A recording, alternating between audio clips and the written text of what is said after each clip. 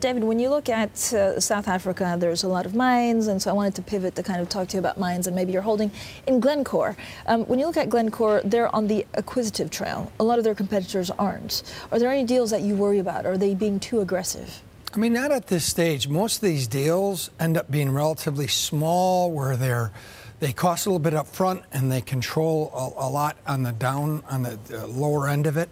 For instance, if you look a year ago or so there was the deal for the Russian oil company.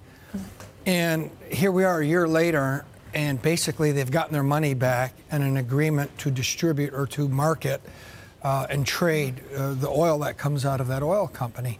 So these these things look like there's a lot happening, but when you really look at money that has been spent, it tends to be rather small. I mean, some of the uh, Glencore competitors have been paying higher dividends. Is Glencore getting it right? And this goes back to one of the conversations that we were having before. Is that you have a number of options as a CEO, and you need to, I guess, you know, invest, acquire, but at the same time give back. This is exactly right, Francine. This is what we analyze management's ability to do. What are they going to do with that cash flow?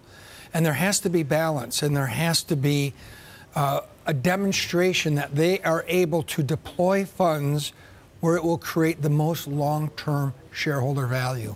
And I think for the most part, if you look at the deals that have been done with Glencore over the last year, you can see a clear route to value creation. Yeah. So, so far, I think it's, it's been a very uh, appropriate and good actions that the management have been taking in some of these acquisitions. Let's